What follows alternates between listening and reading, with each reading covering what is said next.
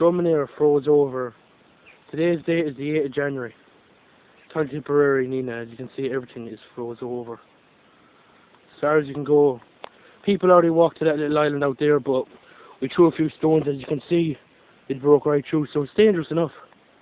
As you can see, everywhere the boats over there are frozen.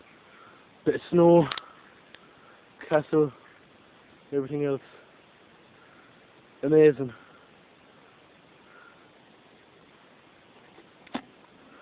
You have to document something like this. And Trev the Trickster.